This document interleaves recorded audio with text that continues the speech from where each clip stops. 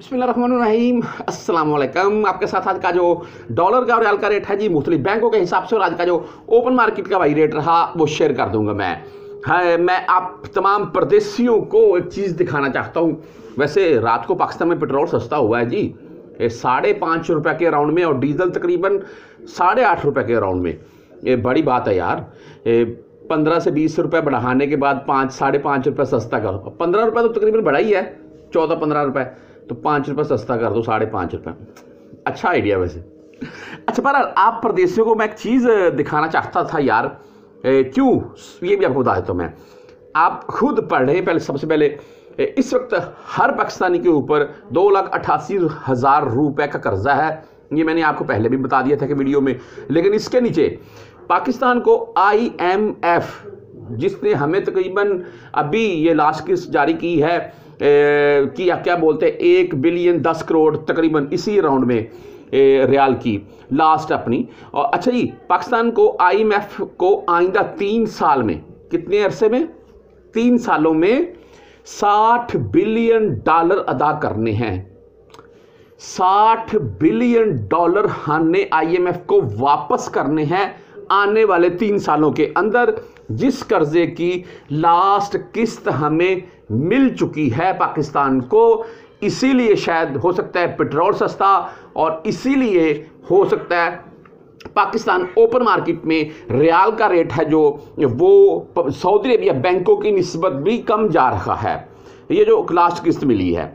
تو بہرحال، ابھی آپ تمام پردیسی بھائی آگے خود سمجھدار ہیں کہ آنے والے تین سالوں میں پاکستان نے قرضہ یہ واپس کرنا ہے۔ جو کہ آپ کو میں نے بتا دیا ہے۔ اور بھائی جب یہ معاملات چلیں گے تو پھر ڈالر کدھر ہوگا اور ریال کدھر ہوگا اور پاکستان میں مہنگائی کی صورتحال کہاں پر ہوگی؟ یار، ہمیں ویسے سوچنے چاہیے پردیسیوں کو بھی۔ ہاں پردیسیوں کو میں یہ بات بتا دوں کہ آپ کو مہنگائی کا اثر نہیں، تمام پردیسیوں کے اوپر مہنگائی کا اثر نہیں ہوتا ہے۔ جب پاکستان چلے جائیں گے، اس ٹائم ہوگا آپ کے اوپر، یہاں پر بیٹھے ہوئے نہیں ہوگا۔ آپ سوچیں گے، یار ہاں کیوں نہیں ہوگا؟ سن لیں، کیسے نہیں ہوگا؟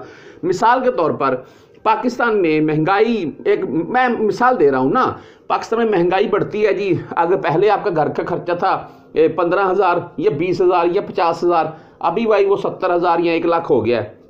ایسے ہی ہے نا۔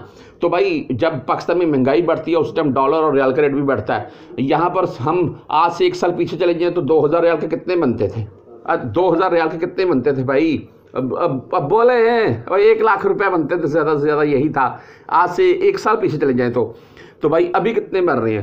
تقریباً ایک لاکھ اڑتالیس۔ ایسا ہی ہے جی۔ میں مانتا ہوں ایک لاکھ چھیالیس، ایک لاکھ سنتالیس، ایک لاکھ اڑتالیس، اسی اراؤنڈ میں بن رہے ہیں۔ کتنا اضافہ ہو گیا؟ یار پردیسیوں کے پردیسیوں اس حساب سے سیلری بڑھ جاتی ہے۔ ہاں یہ ہو جاتا ہے۔ باقی جب کو بندہ میرا پردیسی بھائی پاکستان جاتا ہے تو اس ٹائم بھائی دن میں تارے نظر آ جاتے ہیں۔ کیوں؟ پہلے ہونڈا بائک ہوتی تھی بھائی، ایک ایک پچیس کی، ایک تیس کی، ایک ڈیڑھ لاکھ کی، ابھی دو لاکھ پینتیس، ڈھائی لاکھ کی آ رہی ہے۔ عام سمپل ہونڈا بائک ہے جو۔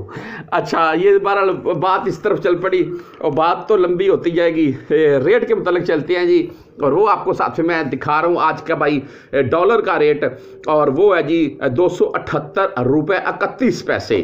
یعنی کہ ڈالر بھائی، ابھی بھی تقریباً آپ اس چیز سے اندازہ کر لیں کہ دو سو اٹھتر روپے پلس میں ہی ہے۔ ٹھیک ہے؟ اچھا جی اگر ریا ریٹ کی بات کر لیں تو وہ آپ کو بتا دیتا ہوں میں۔ اوپن مارکیٹ بائی ڈاؤن ہے، تہتر تیس کے اراؤنڈ میں چل رہی ہے۔ کچھ دن ڈاؤن رکھیں گے، پھر مزہ آ جائے گا۔ اچھا بہرحال مختلف بینکوں کے حساب سے بات کریں تو بھائی ان میں سب سے پہلے ایس ٹی سی پہ ان کا آج کا ریٹ تہتر روپے اکتیس پیسے ہے اور دس، سترہ اینڈ تیئیس فیس ہوتی ہے ان کی۔ بینک جزیرہ یعنی کہ فوری بینک کی اگر ہم بات کریں تو ان کا آج کا ریٹ تہتر روپے پنتالیس پیسے ہے۔ اور دس سترہ اینڈ تیئیس ریال ان کی بھی فیس ہے۔ اگر تحویل راجی راجی بینک سے آپ بھیجنا چاہتے ہیں تو بھائی ان کا آج کا ریٹ تہتر روپے ستائیس پیسے ہے اور دس سترہ اینڈ تیئیس ریال ان کی بھی فیس ہے۔ اچھا اگر بات کر لیں ویسٹرن یونین کی، تو ویسٹرن یونین کا بھائی آج کا جو ریٹ ہے وہ تہتر روپے چھیالیس پیسے اچھا ریٹ دے رہا ہے ویسٹرن یونین بھی اور دس سترہ اینڈ تیئیس ریال فیس کے ساتھ۔ اگر بھائی آپ منی گرام سے سینڈ کرنا چاہتے ہیں تو منی گرام کا آج کا ریٹ تہتر روپے پچیس پیسے ہے اور دس سترہ اینڈ تیئیس ریال ان کی بھی فیس ہے۔ اگر آپ ٹیلی منی یعنی کہ اے این بی بینک سے سینڈ کرنا چاہتے ہیں تو ان کا آج کا ریٹ تہتر روپے تیئیس پیسے ہے اور ان کی بھی دس، سترہ اینڈ تیئیس ریال فیس ہے۔ اگر بھائی ہم انجاز بینک کی بات کر لیں تو انجاز بینک کا جو آج کا ریٹ ہے وہ تہتر روپے ستائیس پیسے ہے۔ اگر آپ فرینڈی کے تھرو بھیجنا چاہتے ہیں تو فرینڈی تہتر روپے تینتیس پیسے ریٹ دے رہا ہے۔ اگر آپ کوئک پے سے سینڈ کرنا چاہتے ہیں تو کوئک پے کا آج کا ریٹ تہتر روپے ترتالیس پیسے ہے۔ اور دس، سترہ اینڈ تیئیس ریال بھائی ان کی بھی فیس ہوتی ہے۔ باغی پردیسی، میں یہ بات بول رہا ہوں، مختلف ویڈیوز میں بول چکا ہوں۔ اگر آپ مثال کے طور پر آپ کے پاس زائد ریال ہیں تو آپ انہیں دو چار ماہ، چھ ماہ تک رکھ سکتے ہیں۔ تو پھر خود ہی آپ مزے لے لیں گے ان کے۔